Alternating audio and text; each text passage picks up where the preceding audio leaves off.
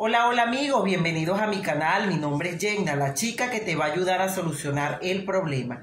Espero te encuentres bien y quédate porque en este video te daré la información exacta que tanto necesitas para solucionar todos los males de tu carro o tu automóvil. En esta oportunidad ha llegado al taller una prima con su Ford Fiesta año 1995 diciendo que el freno se pone duro. Ella nos dice que hace un tiempo atrás le reparó el servo, pero cuando recorre un trayecto largo empieza a ponerse duro los frenos.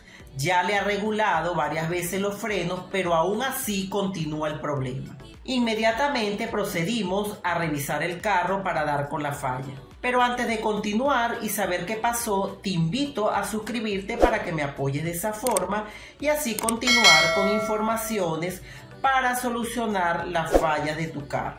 Bueno, resultó ser que el servo estaba dañado y se procedió a cambiarlo para corregir la falla. Este componente se llama servofreno y esta pieza está instalada en el sistema de frenado de todos los carros, constituyendo de esta manera una parte fundamental en la seguridad de todo carro.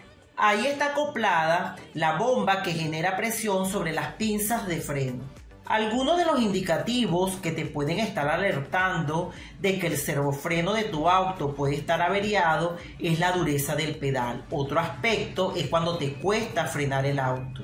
Por otro lado, la distancia de frenado es mayor de lo que estás acostumbrado. También el pedal de freno queda más alto de lo habitual. Este video nos deja una enseñanza, la cual es que cuando cambias algo de tu carro y continúa con la falla, debes ir a revisar nuevamente esa parte que fue reparada, ya que muchas veces no hacen la correcta reparación y pasa lo que les comenté en este video. Lo que les voy a decir siempre lo expreso en todos los videos para que no queden dudas. Estoy segura que algunas personas dirán por qué en cada video yo les cuento lo que nos dice el cliente. Esto se hace para que a partir de lo que él comunique podamos buscar las soluciones lo más rápido posible, ya que cada carro es un mundo diferente y solución diferente. Bueno amigos, espero hayan podido resolver sus dudas. Si en dado caso necesitas alguna información con respecto a tu vehículo, me lo puedes dejar saber en los comentarios que yo los estaré leyendo. Si en dado caso no sé cómo solucionar ese problema, quiero que sepas que cuento con fuentes confiables que te pueden ayudar a aclarar tus dudas. Espero que compartas este video para que me ayudes a mí con este tipo de información que sé que será de gran ayuda para muchas personas. Deseo que tengas muy buenos días, buenas tardes o buenas noches, dependiendo de la hora y del lugar en que te encuentres viendo este video. Y recuerda que te estaré esperando en mi próximo video. Chao.